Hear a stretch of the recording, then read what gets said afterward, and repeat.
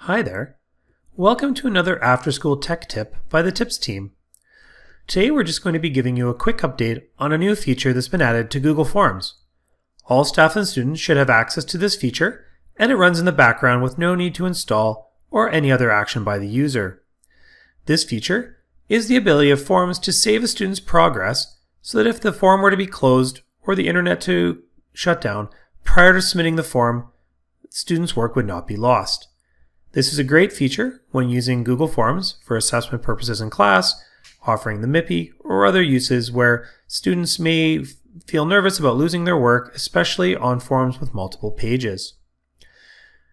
When a student opens a form, you'll notice now a cloud icon in the top right corner.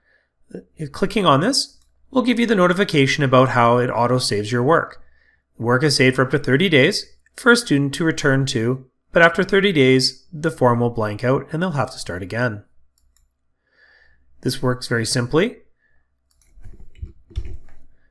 If students working in a form has made several selections, we can see that it shows that it's saving and that a draft has been saved. If this form is then closed, when the student returns to it again, their answers will still be there and a notification that a draft has been restored will pop up. This way the student will not lose their work and can continue on working in their form until they're completed. Clicking Submit as usual will submit this to the teacher in the Google form, and if the automatic scoring is in place, they'll be able to view their score, or if they are not able to complete it again, opening that link again as usual will simply say that they've already filled it out and they can only do so once. This feature hopefully will make life easier for you and your students when working in Google Forms in the classroom.